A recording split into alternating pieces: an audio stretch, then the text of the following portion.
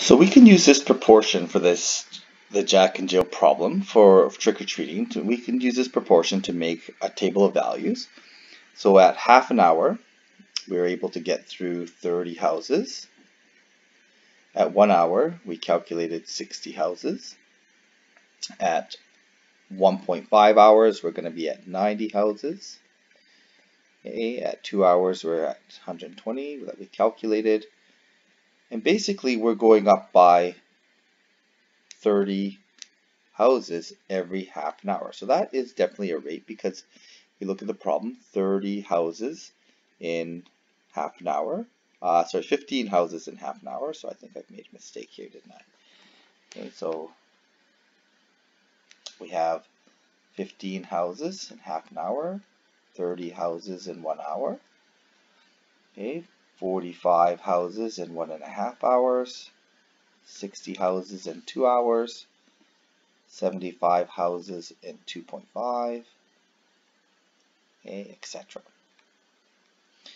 Okay, so when we fill that out, okay, we can plot the graph here. So at one hour, let's we're going to go up to 105. So one, two, let's say that's 10, 20, 30, 40, 50, 60. So at one hour, we're going to be at 30 houses here. Half an hour, we're at 15. At one and a half hour, we're at 45. Two hours, we're at 60. Two and a half, we're at 75. Three hours, we're at 90. At three and a half hours, we're at 105. And I want you to notice that if I look at the pattern of this, this really is a straight line pattern that goes through 0, 0. And in fact, if you take a look at these ratios, 1 to 30 here, 1 to 30, okay, 2 to 60, 3 to 90, these are just equivalent proportions. Okay, these are equivalent proportions here. In fact, all of these are equivalent proportions. Okay, and oops, I should have done that. All of these are equivalent proportions, and when we have these all in proportion like this, we end up with a straight line that goes through the origin 0, 0. In fact, we're going to get back to that later on when we start looking at something called slope. So this idea of proportion is actually related to this, what we call the slope of this line. And this is what we call direct variation because these are the numbers in the table are actually proportional to each other. They're just equivalent proportions. Okay, these are all the same in the same ratio. Okay, and that is a characteristics of these direct variations or these straight lines that go through 0, 0. Okay, not only has to be straight, it actually has to go through 0, 0 for it to have this property. So there it is. Uh, this idea of proportion okay, shows up in something called slope. And I'm going to just show you the parts of this slope. Okay, we have one hour here. Okay, this is what we call the run, the change in the x. And vertically, it's like a staircase. Vertically, we have here 30 houses. Okay, so this is what we call the change in the x and the change in the y. And this ratio of change is actually our what we call slope. So 30 houses in one hour and slope is a ratio. It's actually a ratio of these two terms. So we can come up with a formula then to, to express the number of houses visited as a function of time. So the number of houses okay, is going to be what we're calculating, and I'm going to call that y. And we could calculate that by 30 houses per hour times the number of hours. Okay, and it looks like this, 30 times x okay, where 30 houses, in fact, I'm gonna, maybe I should write this properly as a, as a ratio. That ratio is gonna look like this, 30 houses for one hour okay, times the number of hours gives us the total number of houses that we visited. And the equation simplifies to y equals 30x. So here we have a map. The map scale is 5 kilometers to 2 centimeters. We can write this scale as a unit ratio to find any unit ratio or multiplier we divide. So if I do 5 kilometers to 2 centimeters, I divide that, I get 2.5 kilometers per centimeter. Okay, so there's my unit rate. We can also write that unit rate the other way around.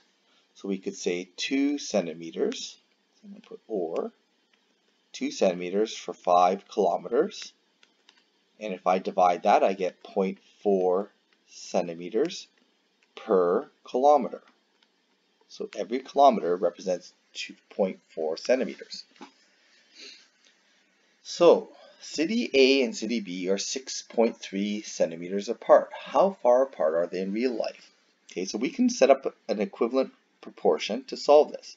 We could also use a time strategy, but this is asking us to show a, show a proportion. So I'm going to use maybe the one we had here. Okay, 5 kilometers to 2 centimeters. And that's equivalent to, well, the 6.3 centimeters goes on the bottom. And we have to solve for that top. And I know that I've already divided these two numbers and my unit rate or my multiplier is times 2.5. So I'm going to use that multiplier times 2.5 to solve this problem. And I end up with x equals 6.3 times 2.5, 15.75 kilometers.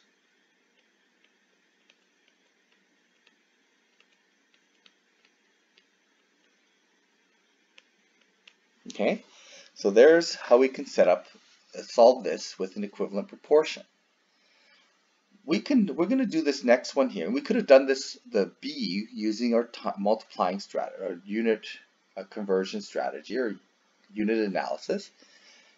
So, but we can all we're going to show that unit analysis for this next problem. Okay, so we have start with 47 kilometers, and we want to know how far in map distance we're talking about. So I'm going to start with 47 kilometers. And then I have my maps ratio, my rate. This is my rate. I can use that rate as a multiplier if I know how to set up the ratio. Okay, I need to make sure I know which is on top, which is on bottom. So I need to get rid of the kilometers, so I know that I put the 5 kilometers on the bottom and the 2 centimeters on the top. The kilometers cancel out, and I end up with 47 times 2 divided by 5. So 47 times 2 divided by 5 gives me 18.8 centimeters. Okay, and I know that my units are centimeters because I'm keeping track of my units here. Kilometers and kilometers cancel, I'm left with centimeters. And that's exactly what I was looking for. Okay, so this is how we can use unit analysis or our times divide method to solve the problem instead of setting up a proportion. Mind you, if we get stuck, we could always set this up as a proportion. It's a proportional problem. Oops. Just zoom in here. We can sell, always set this up as a proportional problem. We have our map distance 2 centimeters to 5 kilometers and then we have our 47 kilometers. And then we can solve this by, in this case, we're going to times by 0.4. So we could times by 0.4 and we'll get the exact same answer by setting it, setting it up that way. Okay, and notice that we do see how we have our multiplier of 0.4 showing up right there as well. That's our unit rate going from bottom to top, the way we've set it up here.